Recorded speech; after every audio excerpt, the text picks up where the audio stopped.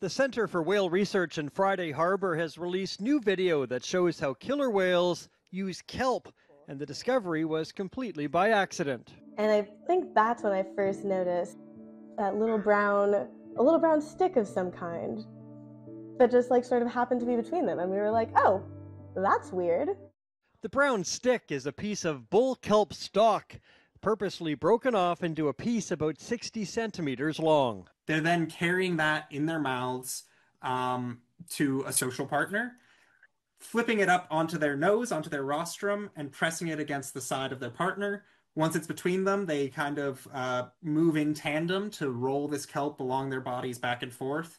Researchers aren't entirely sure why the whales are doing this, but one hypothesis is that it's for hygienic reasons. So we found that whales with greater coverage of dead skin were more likely to do this behavior. So we think it might be related to removing this sloughing skin or potentially treating discomfort related to it. Or it could be related to social bonds. Like grooming in primates, where they pick, you know, parasites off of each other. In terms of why they actually, you know, in the moment, why they choose to do it, my guess is that it feels really nice. And is it only the southern residents that are doing this?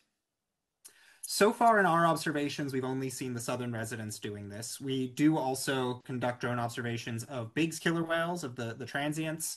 We don't know of any reports of killer whales around the world doing this. You know, uh, we, we don't know of any reports of northern residents or Alaskan residents doing this behavior.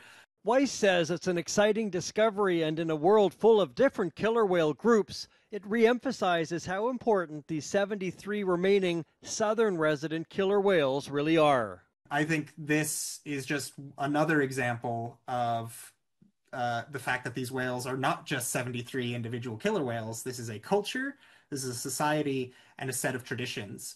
Um, so if we lose those whales, we don't just lose those individual whales, we lose that entire suite of behaviors and that set of traditions that goes back generations.